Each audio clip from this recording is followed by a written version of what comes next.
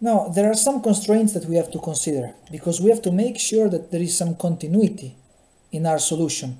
In particular, we know that at x equals 0 we have a barrier. The barrier starts and then it will end here at x equal to L. And this is the second zone, okay, second zone. Here we have the first zone and we have some solution here. Then we have the third zone. And we have to make sure that the solutions at x equal to 0 and x equal to L are the same, okay? So the function psi, psi1, psi2, must be equal at x equal to 0 and at x equal to L, psi2 and psi3 in that case. And also the derivatives of the function psi with respect to x, because the derivative of the function psi with respect to x is related to momentum. If you recall, the momentum operator is just related to the gradient, so it is h bar gradient and we also have a, a constant minus i h bar the gradient okay? And the gradient in this case it, it is just equal to the derivative with respect to x because we are just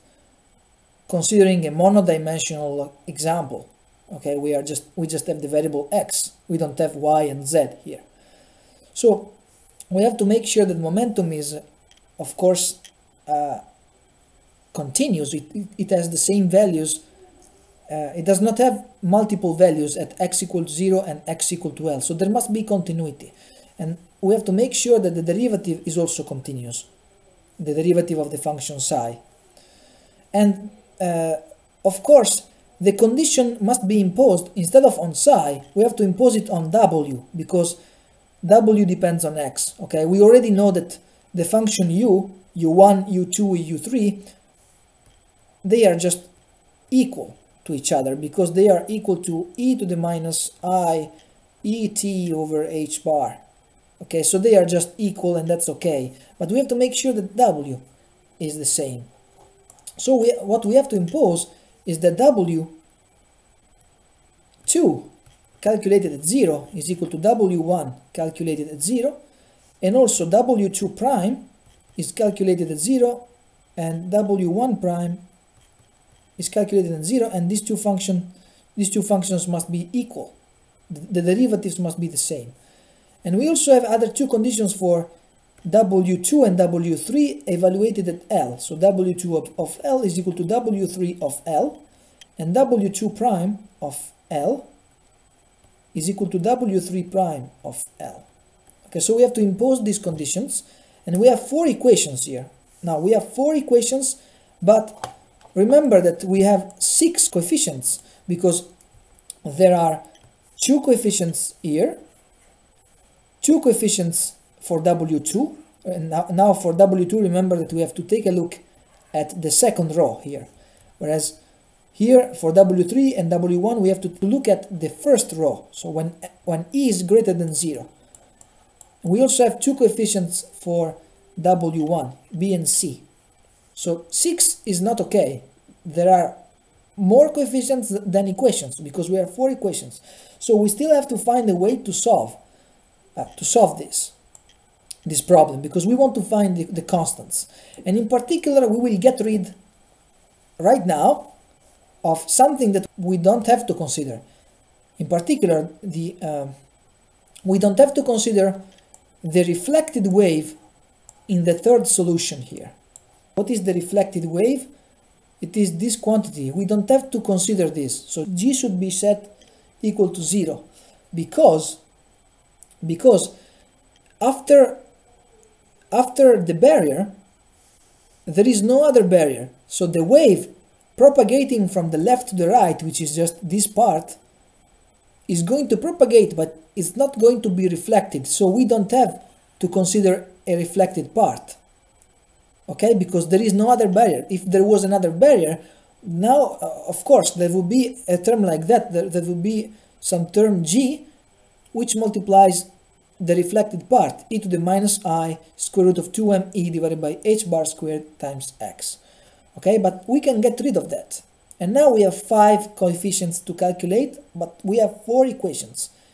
Now this is not a problem okay? This is not a problem because Another equation, remember, would be related to the normalization of the wave function. Because remember that in general when we have a wave function we know that the mode of the wave function squared and the wave function is of course in this case the product between the functions w with the functions u. And you can of course write down a, a, a wave uh, function for each zone the first zone the second zone and the third zone and if you integrate the, the, wave function dx, so the magnitude squared of the wave function dx, you will get some probability, of course, and you, you can normalize the probability, okay? You can usually, usually you, you will set it equal to 1, okay? And you have to integrate this over some volume in, in, in general. If the wave functions go to 0 at infinity, you can also integrate from minus infinity to plus infinity. But this is not the case because you see that we have some some uh, complex exponentials here, which are of course related to trigonometric functions, the cosine and the sine, and they will not go to zero at infinity. Therefore, you have to choose some volume here. So you have to, to integrate over some volume. In this case, it is just an interval, a finite interval. You can choose uh, an interval and, and you can, you can, uh, you have another equation here. And of course you have five equations and, and uh, five unknowns okay but we don't need to to use this condition now we don't need to use that in particular what we uh, what we are interested in is just we want to find all the coefficients in particular what we want to find is this coefficient f because this tells us if the wave uh, is propagating after the barrier, right? Because we are in the third zone. So if we find a non-zero f, we can calculate, in, in principle, we can calculate the probability that the, the wave propagates through the barrier, okay? Because f is related to the, to, to the propagation after the barrier. That's important to understand. We, we can find the expression for f, and we will do that next time, it is just equal to something here that we have to, to derive and it will multiply b. So it, we will see that we, we, can, we can find the ratio f with respect to b and b is the incident wave in the first zone. B is this, uh, sorry, it's this coefficient here. Okay, so we, we want to, to find the ratio f divided by b. So if we find this ratio, we find how much of the incident wave, which is related to this uh, coefficient b, will propagate through the barrier. And this is related to coefficient f, of course. And now if we want to, to write it in terms of probabilities, what we want to find is f divided by b, but we have to take the mode squared of that. This is called also the transmission coefficient. And this is what we want to find we will do the derivation next time, but now we have set up, set up the problem. What we have to do is we have to consider just these four equations. Now we, have, we, can, we can write down four equations and we will have to solve them, okay? And from here we will see that we can find